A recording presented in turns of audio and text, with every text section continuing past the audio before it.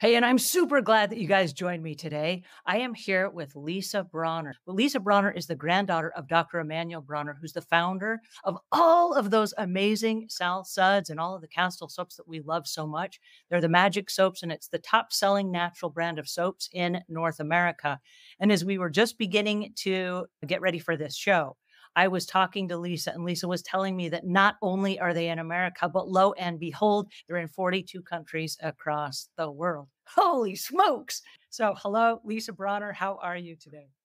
Thanks so much for having me, Angela. I am great. It's been a fun and busy week with the book launching, and of course, keeping up with all the other questions that come in about soap. And uh, so I'm happy to be back here with you. So, share with me I don't know that you were always on this journey. I remember there was a time in a story in one of the early parts of your book where you were talking about that you just grew up thinking like everybody is on the soap mission and everybody knows what it's all about. yeah, exactly. You know, so my grandfather was Dr. Bronner, founded the company in 1948, and it was his thing. It was not something that my immediate family was involved with in a day to day way. My dad, who was also a chemist, he did oversee the actual soap making. But as far as the business side of the company, that was all my grandfather. Not only was it not on our radar, but it just wasn't even part of my like consciousness. What he was doing, what that was all about. I was honestly, I think, just not interested. And I went on my own journey, pretty conventional, graduated high school, went to college. Honestly, it was when I became a parent that I began to take a closer look at things around me and realizing, wait a second, I don't know what's going on here. I don't know what's going on in these products that I'm using. Uh, my son had a scary exposure to cleaning products at one point, And I kind of circled back and realized I think my grandfather was onto something here.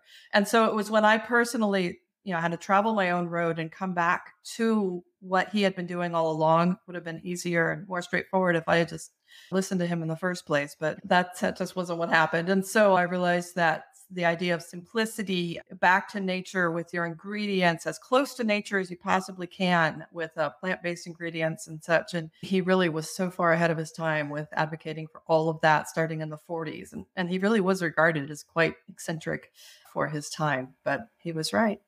Well, not only just a book that's brand new, that's out on the market, that I think is going to be one of the coolest books of all time, as far as all of the green it yourself recipes that are inside. But tell me, you you also wrote a blog and have really been advocating this message for a long time. Tell me about how you started that and how that process has continued this message onto where you are today. Yeah, absolutely. We are a family company. So the Dr. Bronner's is still family run, family owned. And I think it's pretty typical with family companies that when there's a task to do, you just find someone to do it, whether it fits what they think their job description is or not. And so people end up wearing very different hats. And so at one point, my brother Mike, who's now currently uh, company president, he was doing, oh my goodness, sales, inventory, customer service, and some product development. Like all of that was kind of in his wheelhouse. And if you're seeing a Dr. Bronner's label up close, you know it says a lot. We have a lot to say. My grandfather had a lot to say to people. There's a lot of words on there. Well, we can't really be surprised that when we say a lot to our customers, they want to say a lot back.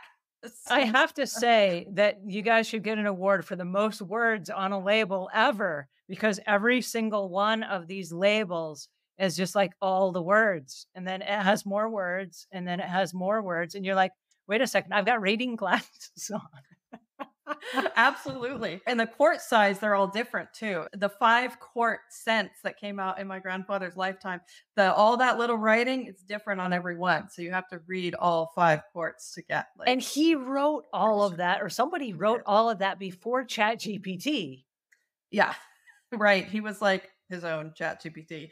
There yeah. you go. So he wrote that, and the label was just as important to him as the contents of the bottle. Soap was the messenger, the label was the message. He wrote it all, he put it on the label, and he actually went blind before I was born. I never knew him when he could see, and he had that label all in his head, all the labels, and he would make edits to it because he could remember every part of it. Yeah. So, oh, I'm so sorry. You asked me about my own history. So, everybody's doing all these different jobs. Mm-hmm. And my brother just said, Could you take over customer service? I had kids at home and he said, You could do it in the middle of the night when they're asleep, whatever. I can't keep up with all the email that's coming in. And so that's how I started. I had people asking questions. How do I mm-hmm. use the soap? What's the best for my situation, my acne, my baby, my sensitive skin, my oily skin? How do I wash my dog, my hair, my car? And so all of those questions eventually led me to write a blog called Going Green with Lisa Bronner, where I answer those questions and masse. People keep asking more, which I love. And that was 13 years ago. And so after writing the blog for so long, like I have the blog in my head. I know that, you know, of the hundreds of articles on there, I've got one for you on that topic, but I wanted to be able to give it to people who are interested all in one spot, which is why I wanted to write a book that was altogether comprehensive. You can keep it at your fingertips. All right. Soapandsoulbook.com. This is Lisa Bronner. You guys, I'm so excited. Thank you for joining us today. And thank you, Lisa, for your time and attention. You are amazing. Well, thank you so much, Angela. It was a, my privilege to be here. All right. We'll see you guys same time, same place next week.